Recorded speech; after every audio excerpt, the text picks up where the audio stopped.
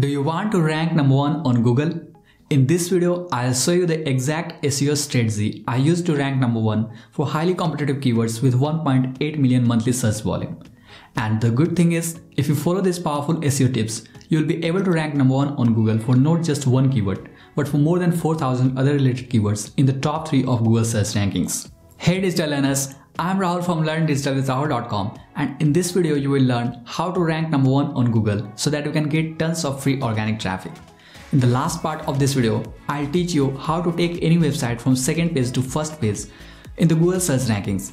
And if you keep watching this video until the end, you will also come to know about a little secret to instantly increase your Google rankings even if you are a beginner. But there is a catch here. Unless you watch each and every SEO tips I am sharing in this video, you are not going to rank number 1. Because Google search ranking algorithms work on more than 200 ranking factors. So learning each of these SEO tips will increase your chances of number 1 Google rankings. Alright, before we get started, make sure to subscribe to Learn Digital with Rahul channel on YouTube and tap on the bell icon. Because I do consistently post such videos every week and you might not want to miss that.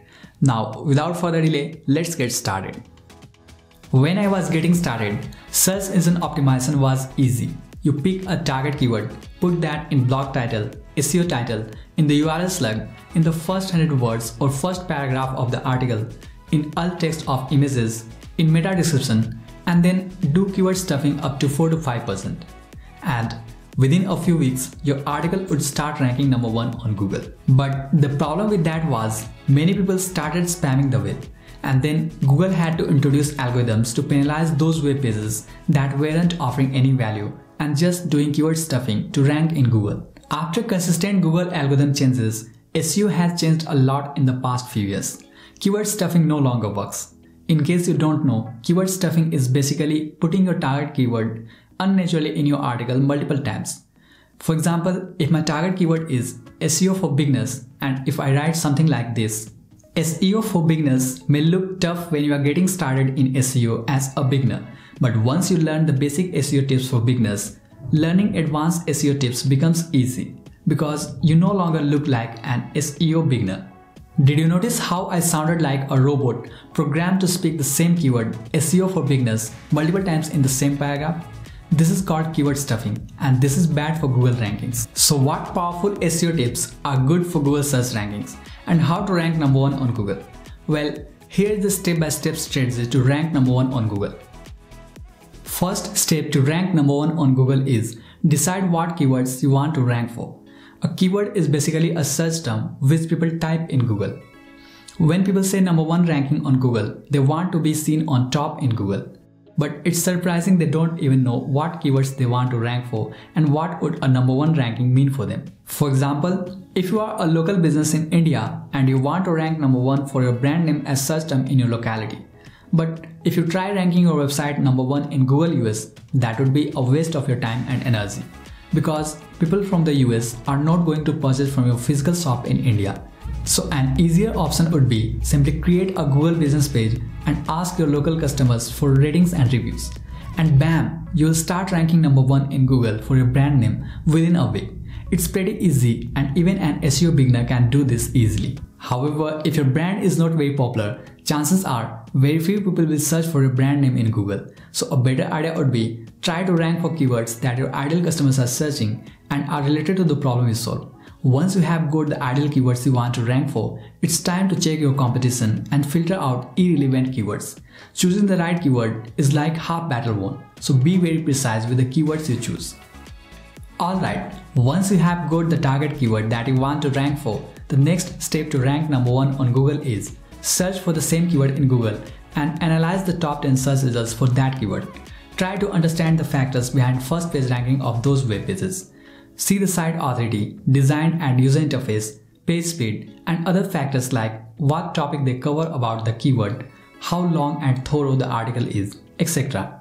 Once you have got the idea, it's time to create a monster blog post about that topic. By monster post, I mean create something that's more informational, covers each and every topic about that keyword, and be as detailed as possible. For example, say you want to rank for the keyword get more blog traffic.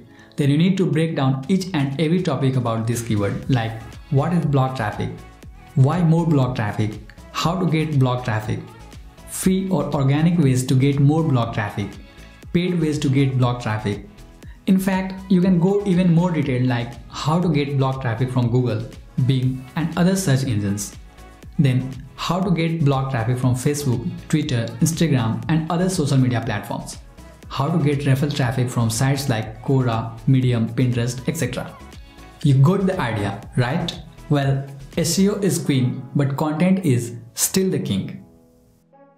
Alright, this brings me to step number 3 for getting number 1 ranking in Google, which is promote your blog post everywhere. You can create the best content out there, but if you don't promote it, no one is going to read.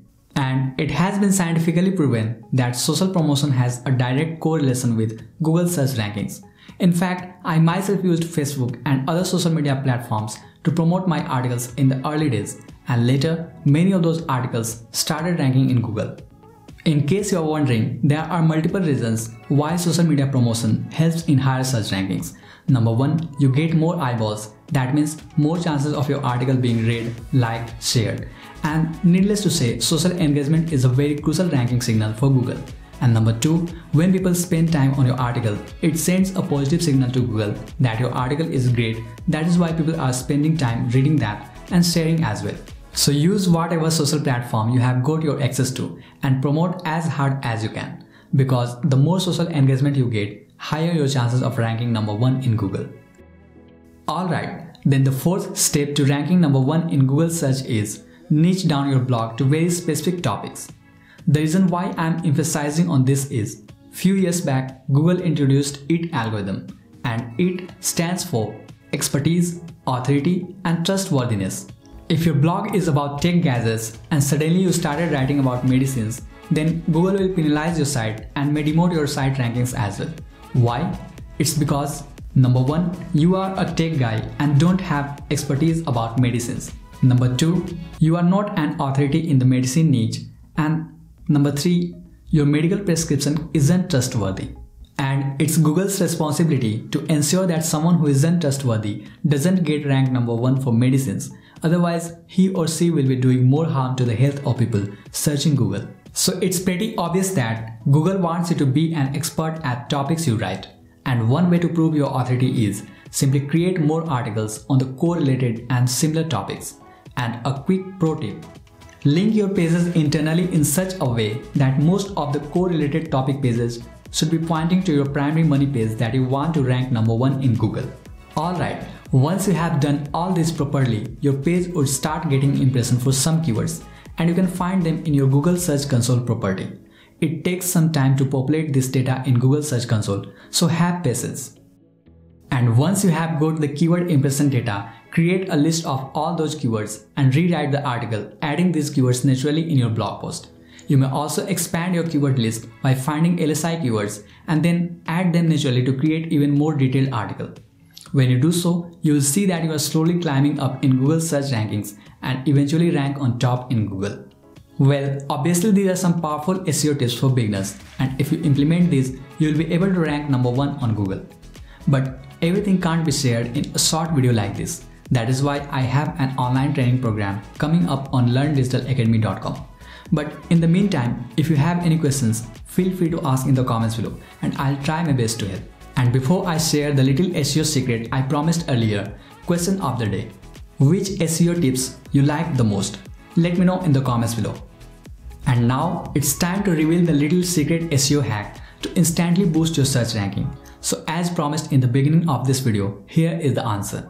No matter what position you are currently ranking in Google search, you can instantly boost your search ranking by adding a relevant video in your article. Why? It's because videos are a hot thing on the web currently. Videos increase engagement. So when you add a video, it will instantly increase the time spent on your web page because people reading your content will watch videos as well. And suppose the video is 5 minutes longer, people will spend an additional 5 minutes on your web page, thus boosting your audience attention. So, a better audience retention will definitely provide you an unfair advantage over your competition, thus boosting your search rankings.